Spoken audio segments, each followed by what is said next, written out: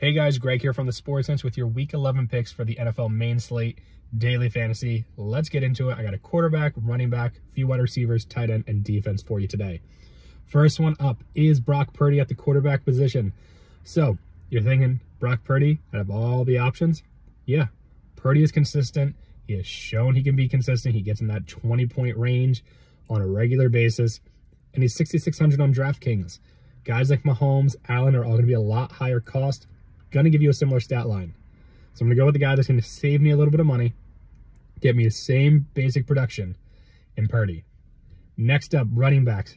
There's a whole slate of running backs you can go with. You can go with McCaffrey, you can go with Kamara. I'm going with a guy that's probably not on many people's radar, and that is Travis Etienne Jr.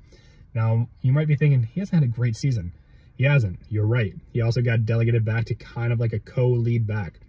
Tank Bigsby is out today for the Jags, which means Etienne Jr. is going to be in there for rushing and passing downs more often than not.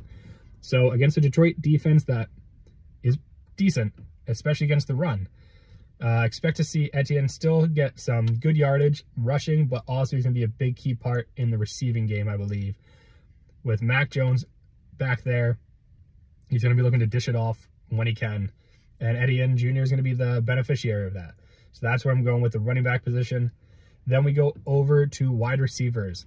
First one up, kind of a long shot to get big points, but if he can get 7-8 like he's projected, good value is Kayshon Boutte from, or Butte, however you say it, from the Patriots. He's 3,500. You're not going to find a lot of guys down in that price range that could get you two or three points. He is projected to get around eight points. So they're going against a Rams defense that is not a top-notch team against the pass. Drake Maye has been using Booty a lot. So that's where the value is really going to be coming in. Again, 3,500 it allows you to really kind of expand that roster and get some higher pick guys. Another guy I'm targeting is Courtland Sutton. He's 5,900 for the Broncos. His last three games, he's been putting up big numbers.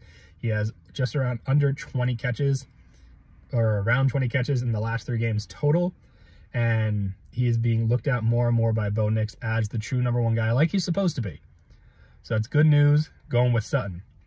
5,900, like I said. Then tight end position. We all know tight end kind of hit or miss. I'm going with Jonnu Smith for the Dolphins. He has been consistent for Tua. He has been kind of a safety blanket.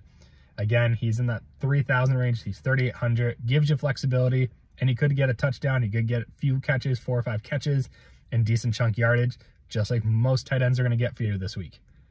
And the last but not least, the defense I'm going with is the Dolphins defense. They have a very good secondary. Their defensive line can be good, and they're going against the Raiders.